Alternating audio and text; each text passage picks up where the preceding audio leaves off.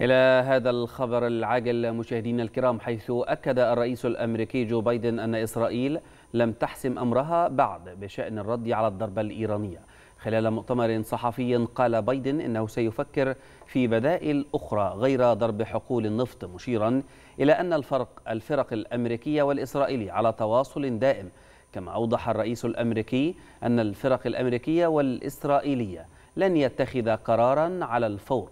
وأن واشنطن ستنتظر نتائج تلك المحادثات.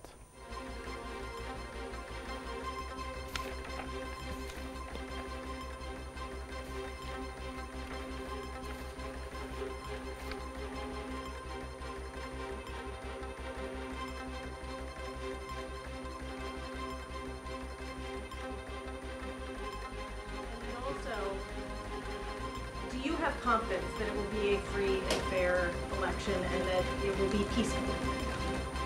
Two separate questions. I'm confident it'll be free and fair. I don't know whether it'll be peaceful.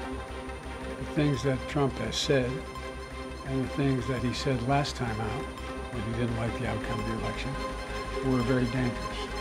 Uh, if you notice, uh, I, I noticed that the vice presidential Republican candidate did not say he'd accept the outcome of the election. They haven't even accepted the outcome of the last election.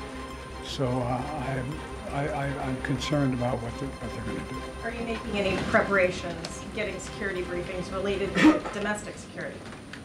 I always get those briefings. Hi, Hi, Mr. President. When are you considering imposing sanctions on Iran, and would you include oil in those sanctions? That's, that's, that's under consideration right now, the whole thing. I'm not going to discuss that. Well, Just on your comments yesterday on the port strike, you said, by the grace of God, it's going to hold. Is there any reason you think that this Well, there's more to temporary do. A month from now, there's more to do in terms of everything from إلى هذا مشاهدينا الكرام هذا الخبر العاجل حيث أكد الرئيس الأمريكي جو بايدن. أكد على أن إسرائيل لم تحسم أمرها بعد بشأن الرد على الضربة الإيرانية.